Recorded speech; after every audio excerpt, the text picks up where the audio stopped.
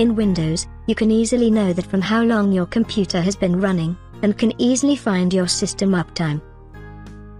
There are various methods to know your system uptime. Let's have a look.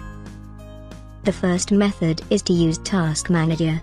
Right-click on your taskbar and then click Task Manager. Click the Performance tab, and below you can see your system uptime.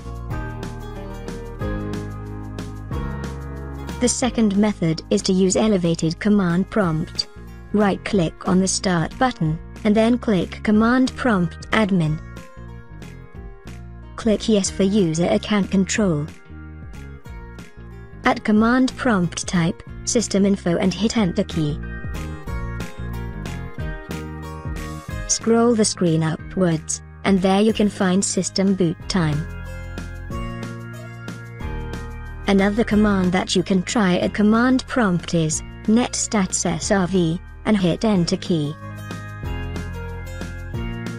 The statistics since are, actually the date and time, when your system was booted up. The last option to see the system uptime is to use Window PowerShell. In the search box, type PowerShell, then right-click on Windows PowerShell, and click Run as Administrator. At Windows PowerShell, run the script line that you can copy and paste from the description below, and then hit the Enter key.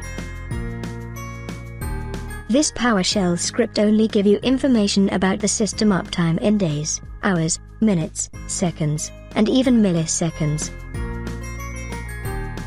Hope you will like this video. Tell us by leaving a comment and don't forget to share and like our video.